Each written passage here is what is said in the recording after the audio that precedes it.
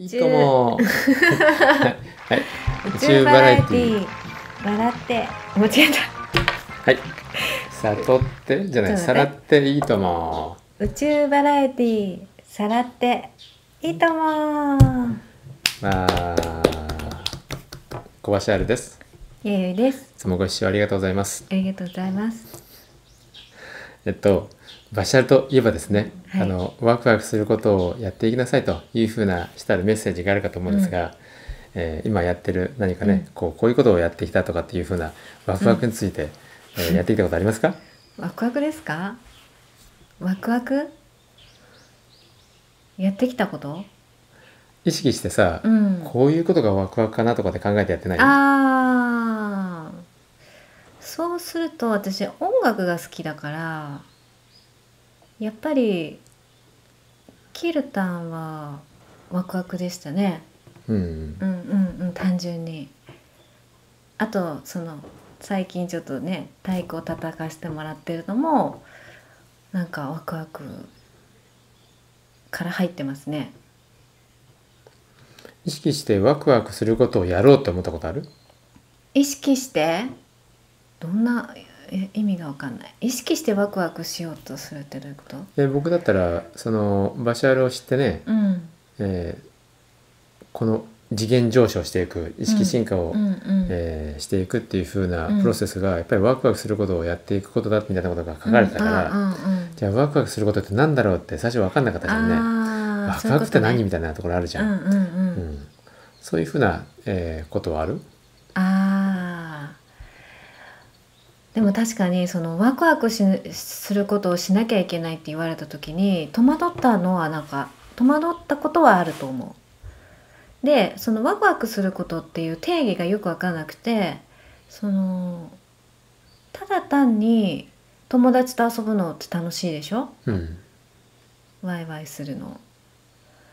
そっちのなんか楽しさのことなのかそうじゃないのかいまいち分かってないかもしれないですねよく考えたら。そうそう僕も今そう思った。うんうん。なんかワクそうだね友達と遊んでらワクワクするかったら、うん。それは単純に楽しいもんね。楽しい。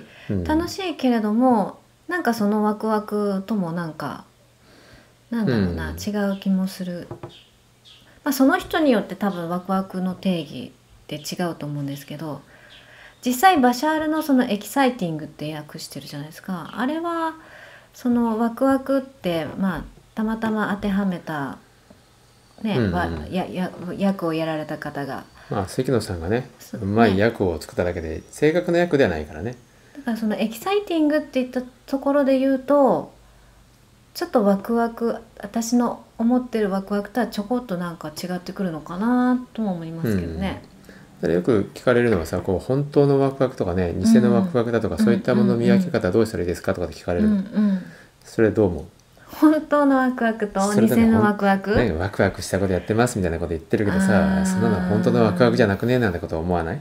うん。うん。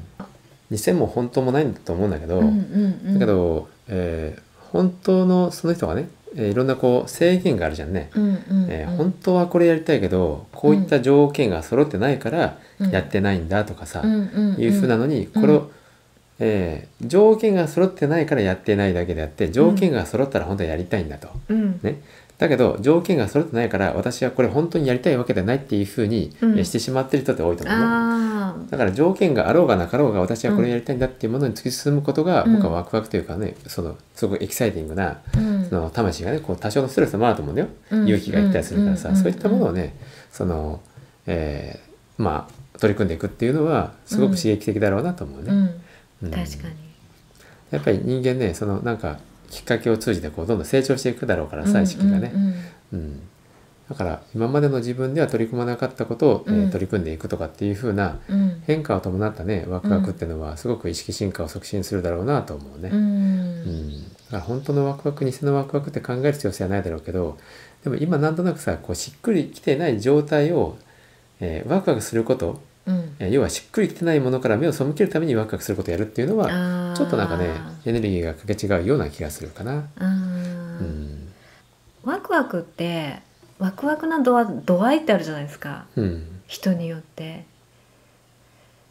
度合いは関係ないんですよねきっと。度合いねあの種類はいろいろあると思うよ、うん。うん。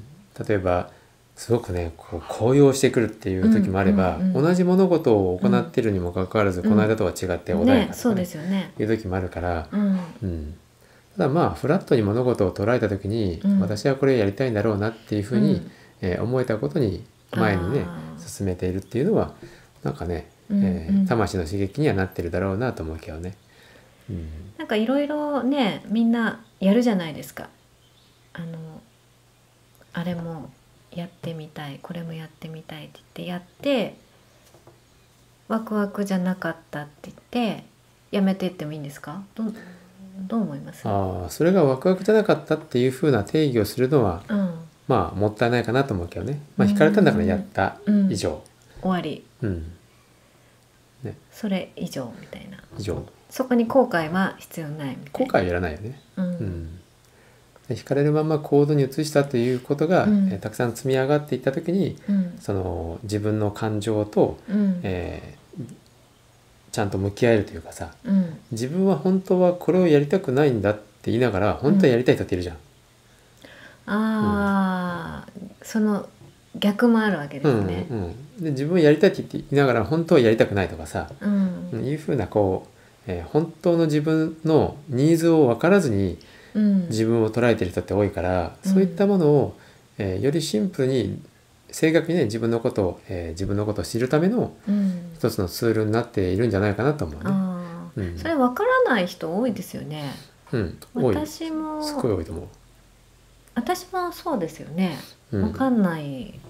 まあ実際今どうなんだろうっていうのもありますけど、そのわかんないですよね。それを。いいよ僕が教えるから。いいかい？いいかい？やいちゃんは今ね。こういう状況でね。って。こういう状況でね。こういうことにえー苛まれてるだけで本当は原因はここにあるからね。ね。それを解消するには小柱をあがめ立てまつるしかないよ、ね、っていうことをいつも言われてますとか言ってて。うん。でもあのワクワクってさ僕はあの一番大事なのはワクワクじゃなくてモヤモヤだと思うのああよく言いますよね、うんセットっていう。そう。セットだからワクワクすることをやろうとするとどうしてもねそれが本当のワクワクであればあるほど、えー、モヤモヤすることがこう突きつけられるじゃんね目の前にボンとさ、うん。でその両方合わせてちゃんと、えー受け取ることができるかどうかっていうのが、えー鍵だろうなと思うね。うん。うん、でそこから目を背けていやあれは本当のワクワクじゃなかったっていうふうに目を背けるのは、うん。えー昔のね、えーあり方と一緒でしょ。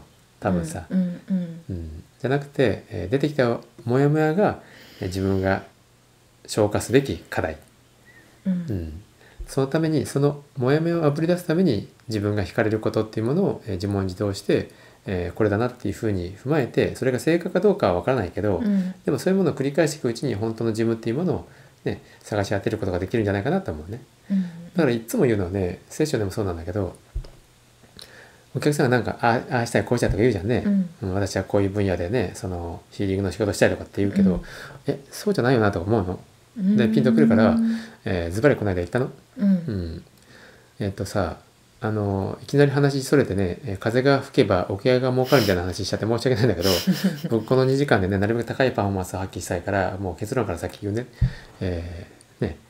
旦那に頭下げて家に戻りやって 言ったのこの間。えー。はあみたいな話になるんだけど、うん、でも結局それが一番自分がね楽だし自分がそれを望んでたっていうことが分かって、えーまあ収まりよく収まあの落ち着いたんだけどね。そうなんですね。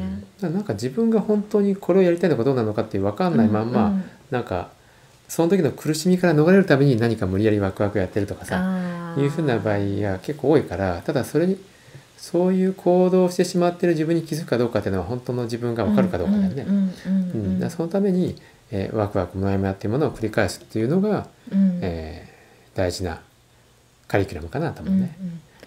そのモヤモヤが来た時にどうやって解消するんですか？そのモヤモヤ。えーじゃあそれは、えーまた来週。また来週なんだ、はい、じゃあいいねチャンネル登登録録コメントよろしくお願いしますお願いしますまた来週。